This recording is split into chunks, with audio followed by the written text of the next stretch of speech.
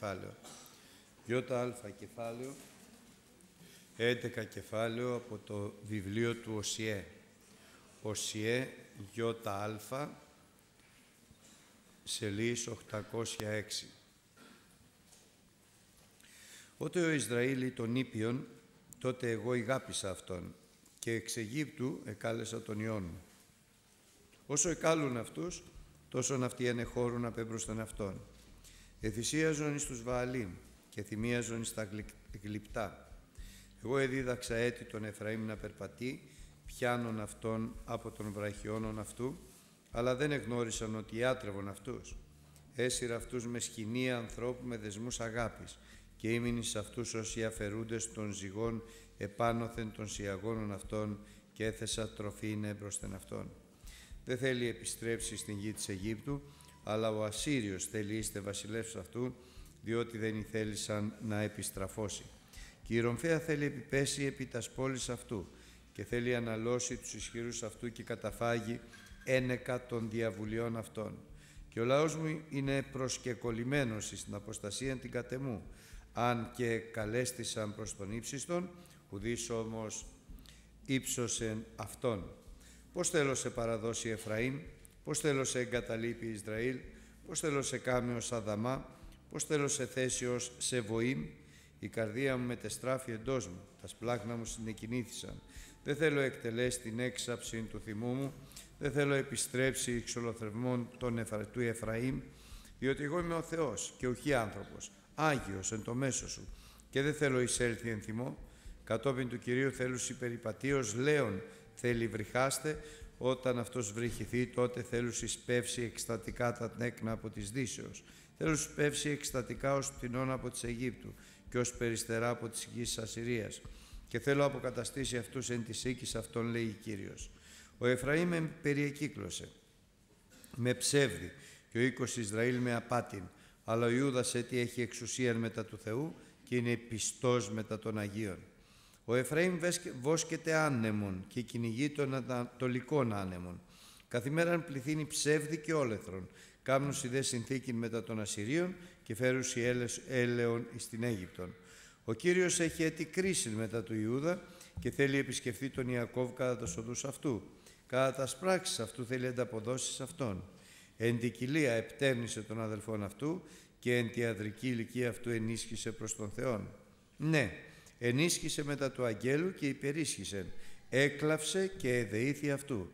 Εν βεθήλ έβρικεν αυτόν και εκεί ελάλησε προς εμάς. Ναι, Κύριος ο Θεός των δυνάμεων, Κύριος είναι το μνημόσυνον αυτού, δια τούτος ή επέστρεψον προς τον Θεόν σου, φύλλα τέλεος και κρίσιν και έλπιζε επί τον Θεόν σου διαπαντός. Ο Εφραήμ είναι έμπορος, ζει για πάτης είναι τη χειρή αυτού, αγαπά να δικεί.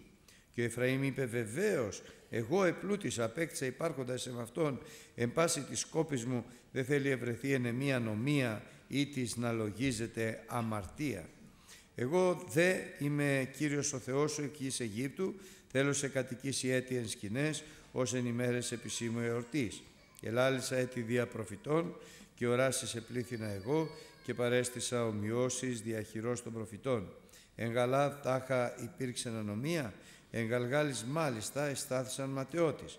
Θυσιάζουν συντάβρους και τα θυσιαστήρια αυτών είναι ως σωρή εν τεσάβλαξη των εγρών.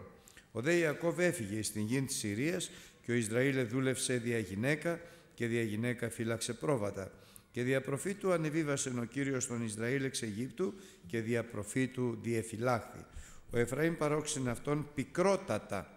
Δια τούτο θέλει εκχέει το αίμα αυτού επ' αυτόν και των ονειδισμών αυτού ο Κύριος αυτού θέλει επιστρέψει επ' αυτόν. Αμήν. Συνεχίζει ο Θεός αδερφοί αγαπητοί τον λόγο του με τον προφήτη τον Εσιέ μπροστά σε ένα λαό παραβάτη, αποστάτη, σε ένα λαό που ενώ έχει το Λόγο του Θεού στα χέρια του ούτε τον φοβάται, ούτε τον λογαριάζει, αλλά παρόλο που τον διατηρεί στον Λόγο του Θεού στα χέρια του, προχωράει σύμφωνα με τις δικές του γνώμες. Και εδώ, αδερφοί αγαπητοί, είναι η χαρακτηριστική αποστασία αυτή των θρησκευωμένων. Αυτή είναι η χαρακτηριστική αποστασία. Δηλαδή έχουν το Λόγο του Θεού αλλά κάνουν ό,τι θέλουν. Και είναι το χειρότερο απ' όλα. Γιατί είναι και παραβάτης και άνομος και αμαρτωλός. Καλύτερα να μην είχαν στα χέρια τους το Λόγο του Θεού. Και αυτό πάει το μυαλό μας τώρα έξω από εδώ, αλλά μην το μυαλό μας εδώ μέσα. Και μάλιστα ούτε απέναντι, εδώ στην καρδιά μας να σκεφτούμε ο καθένας μας. Έχουμε το Λόγο του Θεού, ξέρουμε τι πρέπει να κάνουμε, ξέρουμε πως πρέπει να περπατάμε και κάνουμε τα αντίθετα. Και κάνουμε άλλα. Και αυτό δεν αρέσει καθόλου στο Θεό. Ιδιαίτερα, δεν αρέσει καθόλου στο Θεό, ιδιαίτερα όταν έχουμε χάσει το φόβο του Θεού και δεν λογαριάζουμε και δεν, καθόλου την αμαρτία μας, δεν κλαίμε και δεν αγωνιζόμαστε εις μετάνοια. Γιατί, εάν κάνουμε λάθος, αν κάνουμε παράβαση, αν κάνουμε ανομία, αν κάνουμε αμαρτία και η καρδιά μας έρθει σε λύπη κατά Θεόν, τότε θα υπάρξει μετάνοια και σωτηρία. Αλλά ο Λόγος του Θεού λέει ότι πολλές φορές καυτηριάζεται η συνείδηση. Η καρδιά παχύνεται.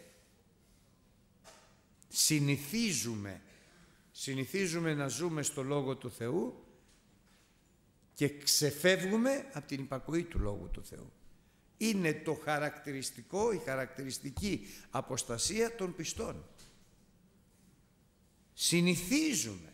Συνηθίζουμε τη φωνή του Πνεύματος του Αγίου, συνηθίζουμε τους ελέγχους του Λόγου του Θεού, συνηθίζουμε το Ευαγγέλιο του Χριστού, συνηθίζουμε την Εκκλησία, τα συνηθίζουμε όλα και η καρδιά μας αμβλύνεται ή για να το πούμε πιο γραφικά φαρδένουμε το δρόμο μας αρχίζοντας να λέμε δεν πειράζει αυτό, δεν πειράζει εκείνο, ε και τι να κάνουμε άνθρωπος είμαι και αδυναμία μου είναι και λοιπά. Και όλα αυτά καλά κάνουμε και τα λέμε. Εκείνο όμως που δεν κάνουμε καθόλου καλά να λέμε είναι όταν δεν μετανοούμε, όταν δεν επιστρέφουμε.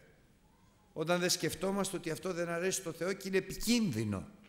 Έρχεται λοιπόν ο Θεός και λέει όταν ο Ισραήλ ήταν νήπιο, τι θα πει νήπιο, αγαθός, αθώος, μόλις γεννήθηκε ή μόλις αναγεννήθηκε.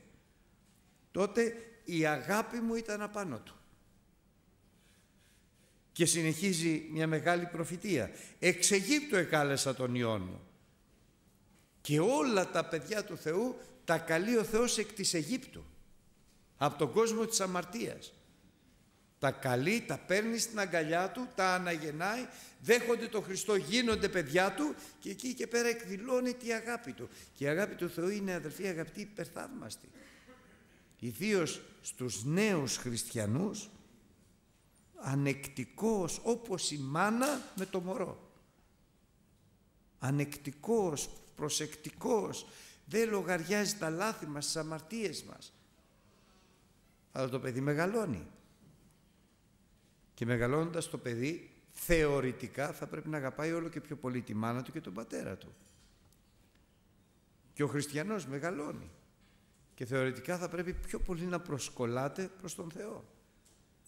Μέσα στην ευγνωμοσύνη που πρέπει να έχει στην καρδιά του, γιατί τον έβγαλε από την Αίγυπτο. Ξέρετε, θα πει μας έβγαλε από την Αίγυπτο.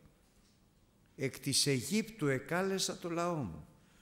Όταν ήταν ενήπιον το αγαπούσα αλλά όσο εκάλουν αυτούς και εδώ τώρα το ξαναλέω αγαπημένα μου αδέλφια γιατί ε, πρέπει να είμαστε πάρα πολύ προσεκτικοί. Κάθε φορά που ερχόμαστε στην Εκκλησία και ακούμε το Λόγο του Θεού είναι μια πρόσκληση. Ένα κάλεσμα του Θεού. Ένα κάλεσμα προς Αυτόν. Ένα κάλεσμα προς τον δρόμο που ο Θεός έχει ετοιμάσει για μας. Ένα κάλεσμα προς την αφιέρωση. Ένα κάλεσμα προς τη Βασιλεία του Θεού. Ένα κάλεσμα Είτε αυτό είναι έλεγχος, είτε αυτό είναι ε, ενισχυτικός λόγος, είτε αυτό είναι προφητικός λόγος, είτε αυτό είναι ευαγγελιστικός λόγος. Όλα τα λόγια του, του Χριστού, του Ευαγγελίου και του Πνεύματος του Αγίου είναι ένα κάλεσμα. Ένα κάλεσμα συνεχόμενο. Ένα κάλεσμα προς διόρθωση, ένα κάλεσμα προς μετάνοια, ένα κάλεσμα προς αλλαγή πορείας, ένα κάλεσμα προς αγιασμό, ένα κάλεσμα προς δοξολογία, ένα κάλεσμα.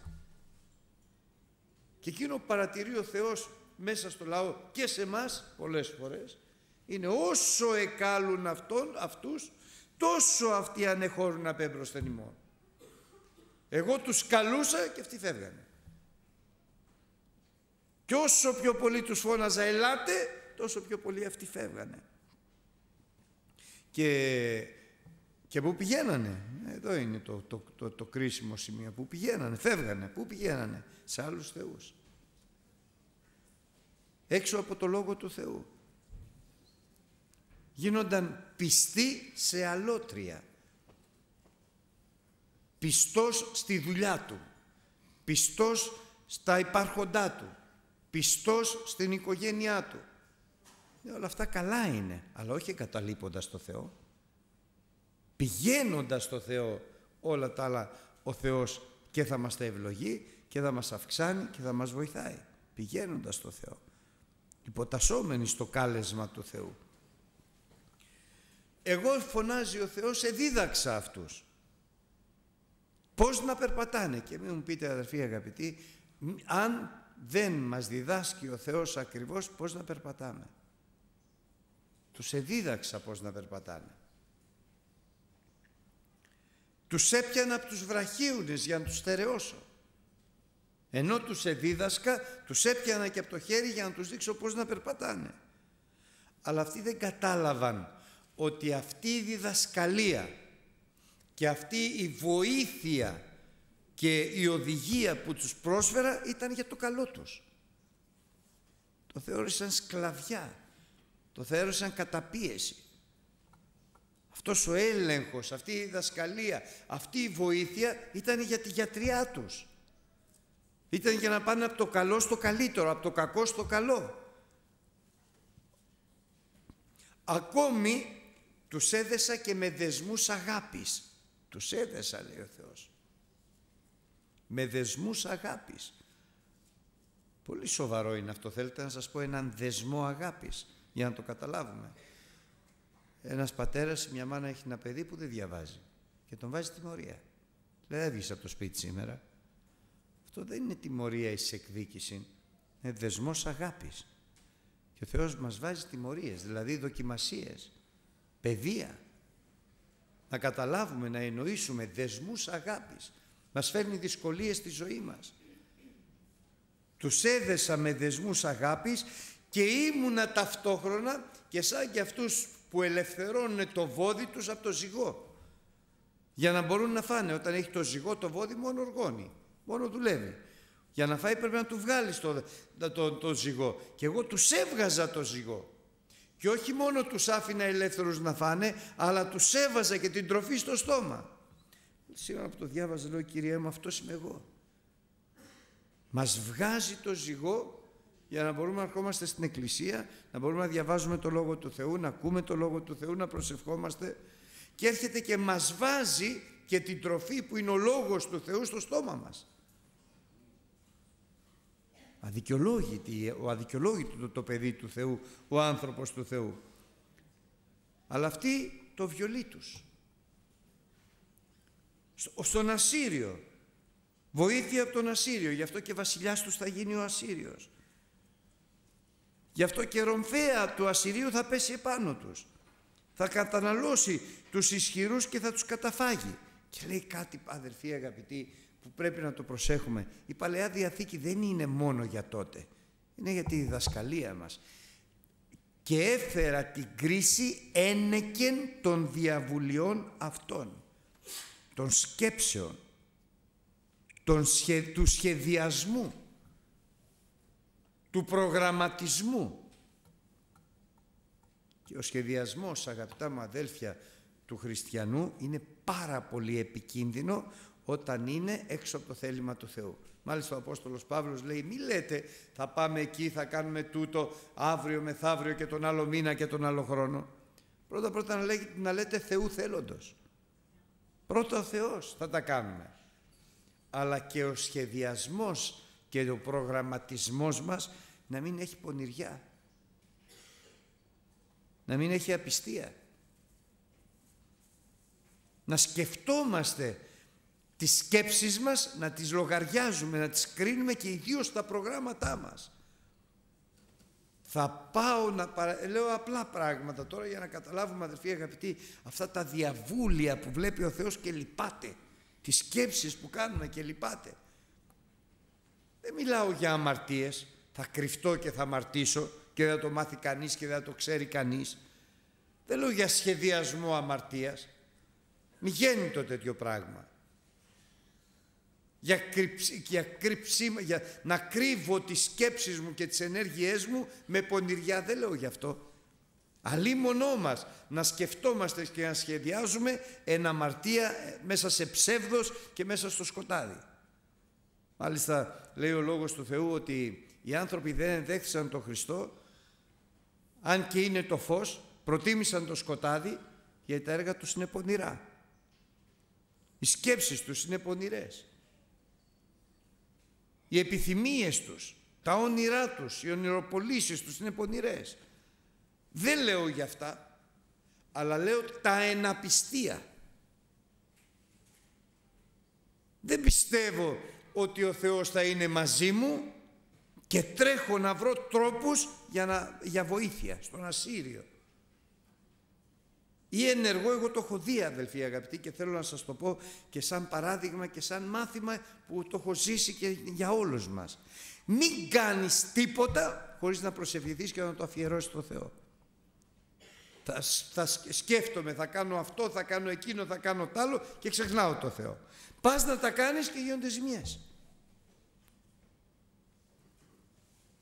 Αν όμως, και αυτό το λέμε συνέχεια με τη γυναίκα μου, ξεχάσαμε να προσευχηθούμε και ξεχνάμε, απίστευτο ε. Ό,τι ξεκινάς, ό,τι και να είναι αυτό. Μικρή δουλειά, μικρό πράγμα, ό,τι και να είναι αυτό. Αν είσαι παντρεμένος και είναι πιστή η γυναίκα σου, αν είσαι παντρεμένη και είναι πιστός ο άντρας, πάρε τον άντρα σου και τη γυναίκα σου. Αν δεν είσαι, πήγαινε μόνος σου. Και γονάτισε και πες Χριστέ μου, πα, σκέφτομαι να κάνω αυτό. Τι λες εσύ, ανάλαβε το. Προπορεύσου στη ζωή μου. Έτσι σκέφτομαι να κάνω. Πώς το ακούς εσύ; Και θα δείτε αδερφοί ότι θα βρίσκει τρόπους ο Θεός να γίνεται τέλειο. Τέλειο να γίνεται. Κάνουμε ένα πολύ μικρό πραγματάκι εκεί στο Γκάλαμο σαν το ματιάκι, σαν τουαλετίτσα ας πούμε για τους αδερφούς που έρχονται και δεν ξέρω, δεν ήξερα πώς να το κάνω και προσευχηθήκαμε με την Άννα. Ξέρετε τι ωραίο που έγινε. Και δεν το έκανα εγώ. Έβαλε ο Θεός τον αδελφό τον Πασχάλη, ήρθε κάποιος άλλος αδελφός και βγήκε μόνο του. Αδελφοί, ό,τι κάνουμε. Πρώτα να προσευχόμαστε. Πρώτα να το αφιερώνουμε στο Θεό και αυτά είναι ασήμαντα. Πόσο μάλλον για τα μεγάλα πράγματα. Για τη ζωή μας, για το έργο του Θεού, για τα παιδιά μας. Να προσευχόμαστε και να μην το ξεχνάμε και το τονίζω να μην το ξεχνάμε γιατί εγώ συνέχεια το ξεχνάω. Και μετά λέω κοίταξε να δεις χάλασε γιατί δεν προσευχήθηκα. Και όταν προσεύχεσαι θα γίνονται πολύ πολύ πιο ωραία όλα τα πράγματα. Γιατί βάζεις μπροστά το Θεό. Ζητάς βοήθεια από το Θεό. Και ο Θεός εδώ παραπονιέται. Ένεκεν των διαβουλιών του, των διαβολιών αυτών θα ταλαιπωρηθούν. Γιατί σκέφτονται, το επαναλαμβάνω αν και αυτοί είχαν μέσα τους αμαρτία και ανομία και ειδωλολατρία. Αλλά δεν, για μας λέω ότι δεν μιλάω για αμαρτίες, ούτε για ειδωλολατρίες. Αλλά εναπιστία έπραξαν. Ενώ ο άνθρωπος ο πιστός προσεύχεται, ζητάει από το Θεό, τον ακούει ο Θεός, ενεργεί ο Θεός και γίνεται το καλύτερο. Το καλύτερο γίνεται. Όμως παρόλα αυτά, εδώ τώρα έρχεται ο Θεός να μας φανερώσει το χαρακτήρα Του και καλό είναι και εμείς να το καταλάβουμε με ποιο Θεό έχουμε να κάνουμε. Μέχρι τώρα ο Θεός έλεγε για τις αμαρτίες τους, για τις παραβάσεις τους, για τις ειδωλολατρίες τους και αλήθεια έλεγε. Τώρα όμως θα τολμούσα να πω έρχεται εις Αυτόν και λέει πώς όμως να σε παραδώσω, πώς να σε αφήσω στην, στην κρίση, πώς να εγκαταλείψω τον Ισραήλ; Η αγάπη του Θεού αδελφοί, όπως το λέει η Γραφή, η αγάπη καλύπτει πλήθος αμαρτιών και επειδή ο Θεός είναι αγάπη, καλύπτει όλες μας τις αμαρτίες και όλα μας τα λάθη. πώς να τον εγκαταλείψω; Πώς να σε καταστρέψω όπως τις πόλεις των Σοδόμων και των Γομόρων, ως την Αδαμά και ως τη Σεβουήν. Η καρδιά μου μετεστράφει εντός μου, τα σπλάχνα μου συνεκινήθησαν. Σε σπλαχνίστηκα. Μα είναι μέσα στην αμαρτία, στην παράβαση, στην κλεψιά, στην απάτη, στην δολολατρία. Το κοιτάει καλά καλά και λέει παιδί μου είναι. Παιδί μου εγώ όταν ήταν μωρό τον αγαπούσα. Και για να το καταλάβουμε καλά αδερφοί αγαπητοί να δούμε μια μάνα όταν βλέπει ένα παιδί αμαρτωλό, όταν βλέπει ένα παιδί στην ηρωίνη, όταν βλέπει ένα παιδί ακόμη και ε, πολύ αμαρτωλό και φωνιά μπορεί να ακούει, να, να τις λένε, να τις λένε, να τις λένε, να βλέπει την κατάτια του, όμως λέει τον αγαπάω, παιδί μου είναι. Βέβαια αδερφοί αγαπητοί, αυτή την αγάπη πρέπει να έχουμε κι εμείς. Όλοι μας. Βλέπεις τον αδελφό σου που ταλαιπωρείται, που κάνει λάθη, που έπεσε, που να λες αδελφός μου είναι. Τον αγαπάω γιατί αλλιώς κινδυνεύουμε να γίνουμε σαν τον πρεσβύτερο ιό της παραβολής του ασώτου Ιού. Να μετανοήσει και να μην μπορούμε να τον συγχωρήσουμε. Ενώ πρέπει πριν να μετανοήσει να τον συγχωρούμε εμείς. Πριν ακόμη επιστρέψει, πριν καλή μονό μας να επιστρέψει και να μην τον συγχωρούμε. Αλλά πριν ακόμα. Πρέπει να μοιάσουμε στον Πατέρα μας τον ουράνιο. Ο Απόστολος Παύλος λέει «Μη μητέ του Θεού γίνεστε και περιπατείτε εν αγάπη. Συνεκινήθησαν τα σπλάχνα μου, μετεστράφη η καρδιά μου. Δεν θα εκτελέσω την έξαψη του Θεού μου, του θυμού μου. Δεν θα επιστρέψω εις εξολοθρεμών του Εφραήμ, διότι εγώ είμαι Θεός και ουχή άνθρωπος. Και αυτή είναι η διαφορά του Θεού από τον άνθρωπο. Αν θέλετε να ξέρετε ποια είναι η διαφορά του Θεού από τον άνθρωπο, δεν είναι αδερφοί αγαπητοί. Ούτε η δύναμη, ούτε η σοφία, ούτε... όλα αυτά είναι διαφορετικά χαρακτηριστικά της υπόστασης. Αλλά του χαρακτήρα η διαφορά είναι ότι ο Θεός είναι αγάπη και ο άνθρωπος αγωνίζεται να έχει λίγη αγάπη. Ο Θεός είναι αγάπη. Αγαπάει όλους και τον πιο αμαρτωλό. Για σκεφτείτε ότι λέει ο, ο, ο Λόγος του Θεού όπου επερίσσευσε η αμαρτία εκεί υπερεπερίσσευσε η χάρη του Θεού. Αγαπάει αδελφοί ο Θεός και αγαπάει πάντοτε. Αγαπάει τον αμαρτωλό και τον αγαπάει πάντοτε. Αγαπάει τον πολύ αμαρτωλό και τον αγαπάει πάντοτε. Αγάπηση αιώνια. Αυτή όμως την αγάπη, αγαπημένα μου αδέλφια, πρέπει να την συνειδητοποιήσουμε, να την καταλάβει η ψυχή μας, όχι μόνο για τους άλλους, αλλά για τον εαυτό μας. Ξέρετε, είναι μερικές φορές που εμείς δεν μπορούμε να συγχωρήσουμε τον εαυτό μας. Ο Ισάφ δεν έβρισκε τόπο εμετανίας. Ο Κάιν είπε «Η αμαρτία μου είναι τόσο μεγάλη που δεν δύναται να συγχωρεθεί». Αυτά είναι λάθη της ανθρώπινης σκέψης και της ανθρώπινης καρδιάς. Αδερφέ, ο Θεός σε αγαπάει πάντοτε. Πάντοτε. Σε συγχωρεί πάντοτε. Σε περιμένει πάντοτε. Ο Θεός είναι ο το μοναδικό πρόσωπο στην, στην δημιουργία, στην ύπαρξη που είναι αγάπη. Δηλαδή το διάβαζα αυτό και λέω πόσα είπε για τον Ισραήλ, πόσα είπε για τον Εφραήμ και τι δεν είπε και τι δεν είχε κάνει αυτός ο λαός. Και ξαφνικά ο Θεός λέει πώς να σε εγκαταλείψω Ισραήλ; Πώς να σε παραδώσω στην κρίση και στο θυμό μου; Η καρδιά μου μετεστράφει εντός μου. Τι συνέβη; Ξεπέρασε η αγάπη όλα τα άλλα γεγονότα, θυμό, δικαιοσύνη, όλα τα ξεπέρασε. Αυτός είναι ο Θεός. Η αγάπη ξεπερνάει τα πάντα.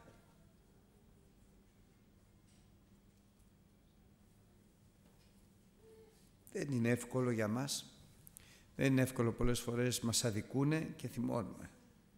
Μας κοροϊδεύουνε, μας, μας δέρνουνε. Όμως ο Θεός θέλει πάνω από όλα αυτά να υπερξεχυλίζει, να υπερχιλίζει η αγάπη.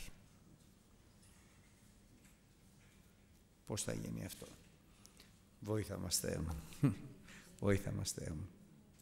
Και ξέρετε αδερφοί, όταν θα ζητήσουμε και μας δώσει ο Θεός μια τέτοια αγάπη, τότε θα γνωρίσουμε την πραγματική ευλογία. Γιατί η αγάπη είναι η μεγαλύτερη δύναμη. Μεγαλύτερη δύναμη που μπορεί να έχει ο άνθρωπος είναι η αγάπη. Δεν σβήνει, φωτιά λέει. Φωτιά που δεν σβήνει. Με την αγάπη ο χριστιανός, ο πιστός χριστιανός, θα τολμούσα να πω ότι γίνεται παντοδύναμος. Προσευχή του αποκτά δύναμη, εξουσία. Γίνεται πολύτιμος στους ανθρώπους. Και είναι και πολύτιμος και στο Θεό. Ένα ωραίο χαρακτηριστικό παράδειγμα αυτής της αγάπης, δεν θα μιλήσω για την αγάπη του Θεού Πατρός, δεν θα μιλήσω για την αγάπη του Χριστού, αλλά θα μιλήσω για την αγάπη του Σαμαρίτη, του καλού Σαμαρίτη. Τον είδε και τον σπλαχνίστηκε τον Ιουδαίο, Σαμαρίτης. Τι καρδιά είναι αυτή; Που σπλαχνίζεται. Συντετριμένη καρδιά, συγχωρεί, αποδέχεται. Μετατρέπει την πίκρα σε συγχωρητικότητα τα παράπονα, τα μετατρέπει άμεσα σε ευλογία. Γιατί είμαστε άνθρωποι και οπωσδήποτε θα έρθουμε σε τέτοιες καταστάσεις και ζήλιας και κακίας και φθόνου και παράπονα και πίκρας. Από όλα αυτά θα περάσουμε αδερφοί. Και θα περάσουμε θέλοντας και μη γιατί η καρδιά μας είναι απατηλή υπερπάντα και σπόδαρα διεφθαρμένη και θα θυμώσουμε και θα αγριέψουμε και θα γανακτήσουμε και μακάρι να μην γίνουν όλα αυτά ή να γίνονται σπάνια, αλλά θα γίνουνε. Γιατί είμαστε άνθρωποι ομοιοπαθείς. Και το δέχεται ο Θεός αυτό. Αλλά αυτό που κάνει σήμερα και μας καλεί και μας προσκαλεί είναι όλα αυτά να υπερκαλυφθούν από την αγάπη. Και βέβαια αυτή η αγάπη δεν μπορεί να θεωρηθεί ότι ανθρωπίνος μπορεί να υπάρχει, αλλά αυτή η αγάπη μπορεί να υπάρξει σε όλους τους ανθρώπους δια Πνεύματος Αγίου. Και μάλιστα όχι η αγάπη του, του ανθρώπου, αλλά η αγάπη του Θεού. Η αγάπη του Θεού είναι και χειμένη τις καρδίες ημών δια Πνεύματος Αγίου. Όταν λοιπόν και αυτό το έχω δοκιμάσει και το έχω εμπειρευτεί και έχω δει πολύ καλά αποτελέσματα όταν είσαι θυμωμένος και αγριεμένος, πήγαινε προσευχή σου και πληρώσουμε Πνεύμα Άγιο. Θα δεις πώς θα μεταβάλει ο Θεός τα πάντα. Θα μεταβάλει. Θα μαλακώσει την καρδιά, θα την ταπεινώσει την καρδιά, θα τη συντρίψει. Ε, εγώ δεν είμαι άνθρωπος, λέει, είμαι Θεός. Εγώ δεν μπορώ, είμαι μακρόθυμος. Είμαι Άγιος εν το μέσο σου δεν θα έλθω με θυμό εναντίον σου. Γιατί είσαι παιδί μου. Εκ της Αιγύπτου σε εκάλεσα γιο μου και σε αγάπησα όταν ήσουν ανήπιο. Και βλέποντας αυτή την αγάπη, λέει ο Θεός, θα σε κερδίσω. Ε, τώρα το μεγάλο μυστικό. Θα, βρυχεί, θα, θα, θα φωνάξω όπως το λιοντάρι από αγάπη. Πώς φωνάζει τα παιδιά η Λένα, δεν ξέρω, αλλά κάπως πρέπει να τα φωνάζει. Το λιοντάρι τα παιδιά του κάπως πρέπει να το φωνάζει. Και όταν θα, θα βρυχίσω σαν το λιοντάρι θα έρθουν όλοι από δίπλα μου. Θα σπεύσουν εκστατικά τα τέκνα από τις Δύσεως. Θα σπεύσουν εκστατικά ως πτηνό από της Αιγύπτου, ως πεστερά από της γης και εγώ θα αποκαταστήσω πάλι αυτούς εις τους οίκους τους. Αλληλούια. Η αγάπη καλύπτει πλήθος αμαρτιών. Η αγάπη αποκαθιστά τα πράγματα. Η γλυκή απόκρισης, όχι η υποκριτική, όχι η ψεύτικη με πολιτική, αλλά η γλυκή απόκρισης με αγάπη συγχωρητική καταπραίνει θυμό. Ξέρετε αδερφοί, μόνο ο χριστιανός μπορεί να είναι έτσι απαλός και τρυφερός στην καρδιά. Να του μιλάς και να χαμογελάει. Να του μιλάς άγρια και να σε αγαπάει. Αλλά ποιος χριστιανός; Ο χριστιανός που είναι πλήρης πνεύματος Αγίου και πίστεως.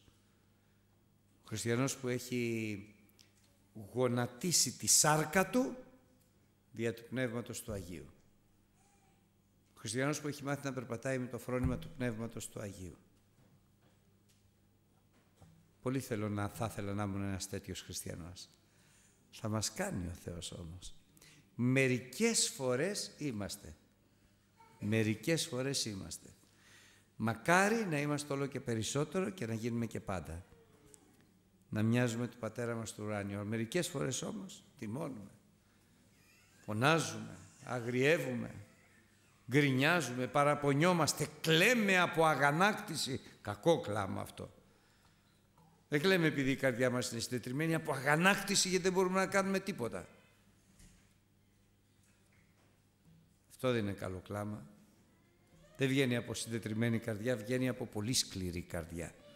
Χτυπάμε τις πόρτες, φεύγουμε έξω, αγριεμένοι. Εκεί δεν μοιάζουμε του Πατέρα μας. Ο Θεός να μας δώσει, αδερφοί αγαπητοί, αυτό το πνεύμα. Το πνεύμα της αγάπης. Το πνεύμα το ταπεινό. Την καρδιά της συντετριμένη. Ο Θεός τώρα στρέφει και βλέπει πάλι πίσω του. Ο Εφραήμ παρόλα αυτά, παρόλη την εκδήλωση της αγάπης μου, με περιεκύκλωσε με ψεύδι και με απάτη. Αυτός είναι ο άνθρωπος. Αυτοί είμαστε αδερφοί. Και δεν διαφέρουμε από το, από το λαό Ισραήλ. Παρά μόνο γιατί ο Θεός έχει αλλάξει την καρδιά μας. Όταν την αλλάζει. Όταν πραγματικά ο παλιός άνθρωπος είναι πεθαμένος. Ο Εφραήμ λέει με περικυκλώνει παρόλη την ένδειξη της αγάπης που του δείχνω με ψέματα και με απάτη. Με κοροϊδεύει. Μου λέει ψεύτικα λόγια αγάπης. Μου λέει απατηλά λόγια αφιέρωσης. Ο Ιούδας τα ίδια αλλά έχει ακόμη εξουσία. Γιατί, Γιατί είναι πιστός. Να η διαφορά. Δεν είναι καλύτερος ο Ιούδας αλλά έχει ακόμη εξουσία γιατί είναι πιστός στο λόγο μου. Και πράγματι η διαφορά η μεγάλη είναι το ο Ιούδας λάτρευε το Θεό στην Ιερουσαλήμ με ιερείς εκ της φυλής του, του Λεβί έμενε στο Λόγο του Θεού, έμενε στην πίστη με πολλές αμαρτίες κι αυτός όμως ο Ισραήλ έφυγε τελείως. Αντί για το Θεό έφτιαξε δύο βόδια και έλεγε εσύ είσαι ο Θεός μου, βόδι μου, βόδι μου, βόδι μου και φιλούσαν τα βόδια και λάτρευαν τα βόδια και θυσίαζαν στα βόδια. Και πού τον οδήγησε το ψεύδος και η απα... πού τον οδήγησε η απιστία; Στο ψεύδος και στην απάτη. Και πού τους οδήγησε το ψεύδος και την απάτη, ο Εφραήμ, εδώ τώρα να το προσέξουμε, βόσκεται άνεμο. Τρώει άχρηστα πράγματα. Μπορείς να φας άνεμο, δεν χορταίνεις. Κυνηγάει τον ανατολικό άνεμο να φάει τρέφεται με το τίποτα, με ματαιότητες, με ψεύτικα λόγια. Υπάρχει ο Λόγος του Θεού στην εποχή εκείνη η Ιερουσαλήμ, στην εποχή εκείνη ο Ναός του Θεού και υπάρχει και η Σαμάρια, η Βεθήλ, τα βόδια και η λατρεία του ψεύτικου θυσιαστηρίου. Ο Εφραήμ τρώει άνεμο και κυνηγάει τον Ανατολικό άνεμο. Μπας και χορτάσει. Δεν χορταίνει όμως. Καθημέραν πληθύνει ψεύδι και όλεθρον. Κάμνουσι δε συνθήκη μετά των Ασσυρίων και φέρουσι έλεον εις την Αίγυπτον. Αυτή είναι η πορεία του Εφραήμ. Ο Θεός τον αγαπάει, ο Θεός μακροθυμεί, ο Θεός λέει δεν μπορώ να σε εγκαταλείψω και ο Εφραήμ πληθύνει ψεύδι, κάνει συνθήκη με, την, με τους Ασσυρίους και προσφέρει δώρα στους Αιγυπτίους. Και τώρα αδερφοί αγαπητοί να δούμε πάλι πώς εκφράζεται από τον Θεό η αγάπη και πώς εκδηλώνεται. Κοιτάξτε τι σκέφτεται. Και είναι ωραία να σκεφτόμαστε έτσι. Βλέπεις έναν άνθρωπο που σε έχει αδικήσει, που σε έχει ταλαιπωρήσει. Αντί να κάθεσαι να σκέφτεσαι τις αδικίες του και τα προβλήματά του, σκέψου τα καλά του. Τότε πριν που σε βοήθησε, τότε που προσευχηθήκατε μαζί, τότε που πήγατε μαζί παρέασε, τότε, τότε, τα καλά. Γιατί από έναν άνθρωπο μπορείς να έχεις καλές αναμνήσεις και κακές αναμνήσεις. Ο άνθρωπος σαρκικός βλέπει τις, κακιά, τα κακά, ε, τις κακές εμπειρίες. Σκέφτεται τα κακά και θυμώνει. Ε, βέβαια, όταν τον βλέπω τον άλλον που μου έχει μιλήσει άσχημα, που με έχει αδικήσει και μπορεί να, να κάνω και λάθος. Τον βλέπω και θυμώνω. Ή, ή μου είχε πει τότε, και θυμάται πριν από 10 χρόνια. Τι μου είχε πει και τι του είχα πει και πώς είχε γίνει. Και δεν ξεχνάει, δεν ξεχνάω λίγο ποτέ. Έτσι μου είχε πει κάποιος, εγώ δεν ξεχνάω ποτέ. Κακό του κεφαλιού σου λέω. Εγώ τα ξεχνάω όλα. Έτσι θέλει ο Θεός. Όλα τα ξεχνάμε. Θυμάσαι τότε τι μου είχες πει. Ε, παιδάκι μου, πού το θυμάσαι; Έκτοτε δεν σου έχω πει τίποτα καλό. Μόνο αυτό τότε που σου είχα πει τότε. Δεν έχουν περάσει από τότε δέκα χρόνια. Με έντο μεταξύ τίποτα καλό δεν σου έχω πει. Τίποτα. Είναι η κακή σκέψη αυτή. Είναι τα διαβούλια, είναι η σαρκική σκέψη. Πνευματική σκέψη ποια είναι; Ξεχνάω τα κακά. Τι ωραία που μου μίλησε τότε. Με επισκέφθηκε, προσευχήθηκε, προσευχηθήκαμε για μένα, με παρηγόρησε. Γιατί δεν είναι δυνατόν τώρα να μην σου έχω κάνει τίποτα καλό εδώ που τα λέμε ή να μην μου έχεις κάνει τίποτα καλό. Να σκεφτόμαστε όσα είναι έφημα, λέει ο Απόστολος Παύλος. Όσα είναι αληθή, αυτά να συλλογίζεστε. Όσα είναι καλά, Ό,τι εσ έχει πειράξει και εσ έχει ενοχλήσει από οποιονδήποτε, οποτεδήποτε και για οτιδήποτε, ξέχασε το. Θα είναι καλό για σένα, θα είναι καλό για μένα. Ξεχνάμε αυτά που αναστατώνουν την καρδιά μας, που φέρνουν ταραχή στην καρδιά μας. Τα ξεχνάμε. Να θυμόμαστε αυτά που φέρνουν ειρήνη στην καρδιά μας. Χαρά, ευλογία και όχι μόνο μεταξύ μας. Καλά γιατί μεταξύ μας έχουμε και πολλούς λόγους. Αδελφοί, πάρα πολλούς λόγους να αγαπάμε ο ένας τον άλλον. Ναι. Αλλά και με τους άλλους ανθρώπους. Και με τους άλλους ανθρώπους. Μη σκεφτόμαστε το κακό που μας έχει κάνει. Όσο μπορούμε να ξεχνάμε αυτά που φέρνουν ταραχή στην καρδιά μας και να θυμόμαστε αυτά που φέρνουν ειρήνη και αγάπη στην καρδιά μας. Λέει λοιπόν τώρα ο Θεός. Ακόμη έχει κρίση ο Θεός με τον Ιούδα και θα επισκεφθεί τον Ιακώβ στα σοδούς αυτού, κατά τα σπράξεις αυτού θέλει ανταποδώσει σε αυτόν. Και αρχίζει και σκέφτεται τώρα ο Θεός. Εν τη κοιλία επτέρνησε τον αδελφό του. Εν τη αδρική ηλικία ενίσχυσε προς τον Θεό. Ναι, ενίσχυσε μετά του αγγέλου και υπερίσχυσε. Και έκλαυσε και εδεήθη αυτού. Αυτό που θυμάται από τον Ιακώβ είναι τότε που βρέθηκε μόνος στο Ιακώβο, ο Ιακώβ όταν επέστρεφε από τη Συρία. Και εκεί στη μοναξιά του τον επισκέφτηκε ο Θεός με άγγελο. Και άρχισαν να μπαλεύουνε. Και του λέγει ο άγγελος, ο Θεός διαμέσου του αγγέλου, άσε με να φύγω. Και ο Ιακώβ έλεγε, όχι, αν δεν με ευλογήσεις δεν σε αφήνω. Κοιτάξτε τι σκέφτηκε. Την καλύτερη στιγμή του Ιακώβ. Αυτός είναι ο Θεός. Ε, έκτοτε τι έχει κάνει, πάρα πολλά. Αυτό όμως που φέρνει στο μυαλό του είναι την καλύτερη στιγμή του Ιακώβ για να γεμίσει η καρδιά του με αγάπη. Και έλεγε ο άγγελος άσε με να φύγω. Και του λέγει ο Ιακώβ δεν σε αφήνω αν δεν με ευλογήσεις. Και ανάγκασε το Θεό να τον ευλογήσει. Και έφυγε ο Θεός. Και έκλαψε ο Ιακώβ. Δόξασε. Μετά θυμάται όταν βρέθηκε στη Βεθήλ που άνοιξε ο ουρανός και κατέβηκε η σκάλα και πάνω ήταν ο Θεός και ανεβοκατέβαιναν οι άγγελοι. Και τον ευλόγησα, ήταν ειδική μέρα. Τι ευλογία ήταν αυτή που έδωσα στον Ιακώβ. Και εδώ αδερφοί αγαπητοί θέλω να προσέξουμε κάτι σας παρακαλώ. Πρώτα πρώτα μέσα στην οικογένειά μας. Μην αφήνεις την καρδιά σου να σκέφτεται τα κακά για τη γυναίκα σου και για τον άντρα σου. Να φέρνεις στην καρδιά σου τις καλές εικόνες. Για να έρχεται η ειρήνη του Χριστού να αυξάνει η αγάπη σου και να έχει δύναμη η προσευχή σου. Αν πας τώρα και προσεύχεσαι θυμωμένος, ε, τι μου έκανε η γυναίκα μου, τι μου έκανε το παιδί μου, κύριε, εδώ, δεν ακούγεται η προσευχή σου.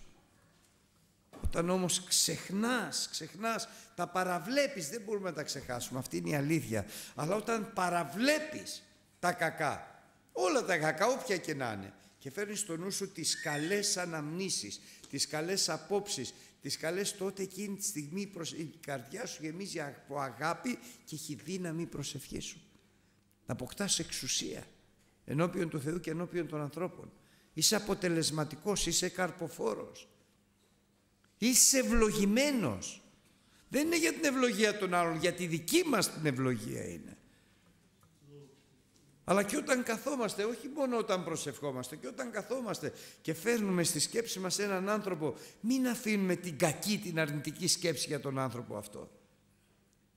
Αλλά αμέσως να την αποβάλουμε και να φέρουμε τις θετικές σκέψεις. Όπως ο Θεός.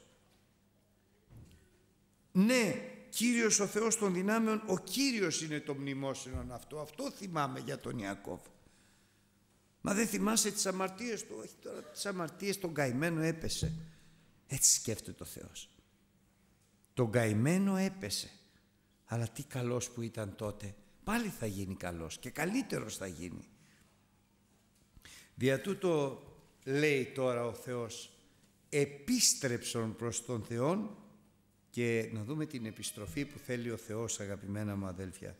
Φύλατε έλεος, αγάπη δηλαδή, φύλατε κρίση, δικαιοσύνη Θεού και ήλπιζε και έλπιζε επί των Θεών σου διαπαντός. Τρία χαρακτηριστικά. Αυτά τα τρία χαρακτηριστικά είναι που χαρακτηρίζουν τη ζωή του ευλογημένου χριστιανού. Να φυλάτει έλεος, την αγάπη προς πάντα στους ανθρώπους, πάντοτε και εμπαντή τόπο και παντού. Την αγάπη να φυλάς και τη δικαιολογία να έχεις στην καρδιά σου. Γιατί πολλές φορές δεν μπορούμε να βρούμε κάτι για να αγαπήσουμε κάποιους, γιατί πράγματι δεν έχουνε, αλλά με τα βεβαιότητα, αδερφοί, μπορούμε να βρούμε δικαιολογίες να συγχωρήσουμε όλους βρούμε δικαιολογίες. Δεν κατάλαβε αυτός. Θυμάμαι, σας το έχω ξαναπεί, που ήταν ένας άνθρωπος, ας πούμε, και με μισούσε χωρίς λόγο. Και ήμουνα και καινούριος χριστιανός και θύμωνα, αγρίευα, αλλά άκουγα τα κηρύγματα πόσο σημαντικό πράγμα είναι το κήρυγμα, ο Λόγος του Θεού. Πώς μας διορθώνει. Πρέπει να με συγχωρείς τους εχθρούς. Και λέω, πώς να το συγχωρήσω τώρα. Και έλεγα, Κύριε, ευλόγησέ τον να προσεύχεσαι για τον Ευλόγησέ τον, η προσευχή μου ήταν ψεύτικη. Όχι ψεύτικη, δεν είχε δύναμη. Γιατί μέσα μου είχα παράπονα, είχα αγανάκτηση. Και μου δείξε ο Θεός ένα ενύπνιο ότι δεν έφταγε αυτός. Αλλά ο διάβολος ήταν πίσω από αυτόν που τον τσίγκλαγε για να έρθει εναντίον μου. Όπως ακριβώς δεν φταίει ο Ταύρος όταν επιτίθεται στο Σταυρομάχο. του ρίχνουν βέλη τον πληγώνουν, τον πονάνε και ορμάει ο Ταύρος όπου βγει μπροστά του. Ταύρος είναι η αλλοπολία. Και είπα, Κύριε Θεέ μου, δεν φταίει αυτός ο άνθρωπος. Δεν φταίει.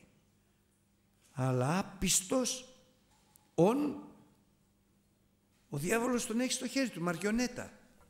Και έτσι το κατάλαβα. Πώς πάει στο κουκλοθέατρος στις μαριονέτες που υπάρχει ο άλλος ο παίκτης από πίσω και κάνει έτσι τα χέρια και βλέπεις το, το τα κουνάει το πόδι, σηκώνει το χέρι, κάνει έτσι, κάνει αλλιώς. Μαριονέτα. Λέω δεν φταίει αυτός που βλέπω. Φταίει ο άλλος που δεν βλέπω. Και τον λυπήθηκα, τον σπλαχνίστηκα.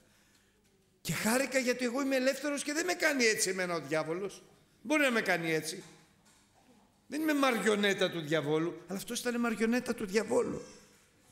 Κουκλοθέατρο ήταν. Και ο διάβολος δεν τα είχε με αυτόν, με μένα τα είχε. Και έβαζε τον άλλον και με κλώτσαγε. Με έβριζε, με μούτζωνε. Και τον λυπήθηκα. Τον σπλαχνίστηκα. Πω, πω, λέω και έχει τρία παιδιά. Τι δυστυχισμένος άνθρωπος είναι αυτός στα χέρια του διαβόλου.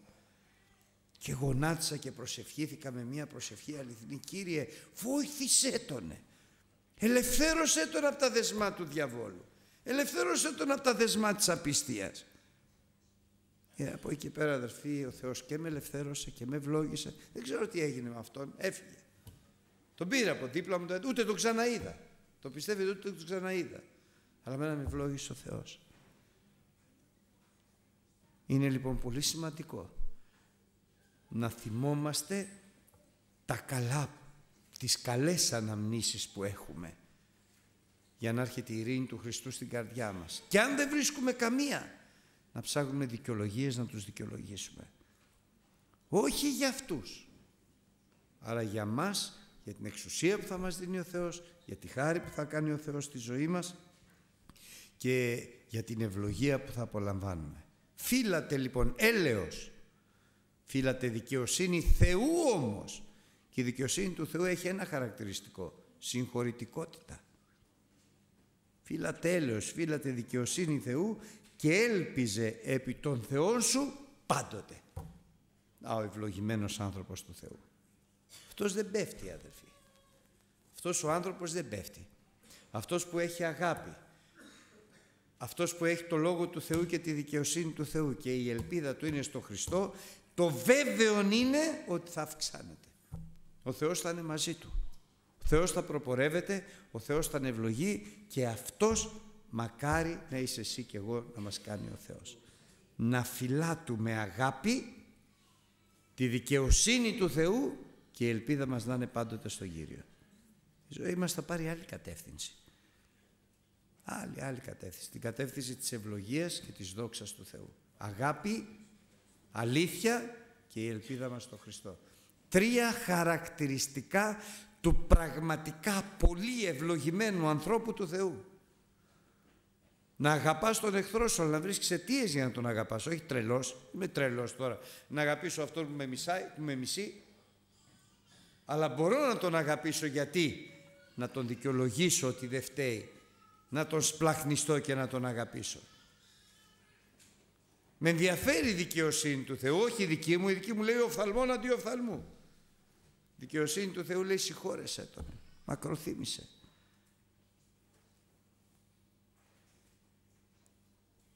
Και τέλος, η ελπίδα μας να είναι στο Θεό. Δεν μπορούμε να ελπίσουμε ούτε στον εαυτό μας, ούτε στη δύναμή μας, ούτε στους Αιγυπτίους, ούτε στους Ασσυρίους, ούτε στους αδερφούς μας, τίποτα αδερφοί. Όπου και να ελπίσουμε θα πέσουμε. Ό,τι και να ελπίσουμε θα το χάσουμε. Μία είναι η ελπίδα μας. Βεβαία και ασφαλής ο Ιησούς Χριστός. Γιατί μόνο Αυτός πραγματικά μας αγαπάει με αγάπη σιώνια. Ούτε στον άντρα σου μπορείς να ελπίσεις, μην ελπίσεις ποτέ. Ούτε στη γυναίκα σου, ούτε στους γονείς σου, μην ελπίσεις, ούτε στα παιδιά σου. Και αυτό το εύκολο είναι για τους ανθρώπους να ελπίζουν. Δηλαδή τα παιδιά μου θα με γυροκομίσουν. Τίποτα δεν θα σου κάνουν. αν ελπίζεις τίποτα δεν θα σου κάνουν. Δεν πιθανόν να μην μπορούν. Αλλά και αν μπορούν πιθανόν να μην θέλουν. Και για κάτσε να, να σταθούν μες στον Κύριο μέχρι τέλους. Θα ελπίζω στον πατέρα μου και στη μάνα μου. Μ' αγαπάει πολύ και θα με βοηθάει. Σήμερα ζει, αύριο δεν ζει. Σήμερα είναι καλά, αύριο τρελαίνεται. Και αν μπορεί και αν δεν μπορεί και αν θέλει και αν δεν θέλει, η ελπίδα μας ματέα. Ελπίζω στον άντρα μου, ελπίζω στη γυναίκα μου, ελπίζω στο, στη δουλειά μου, ελπίζω... Αδελφοί, όλες αυτές οι ελπίδες θα σε, φέρουν, θα σε κατεσχύνουν. Μόνο όποιος ελπίζει τον Κύριο δεν θα κατεσχυνθεί ποτέ. Αμήν.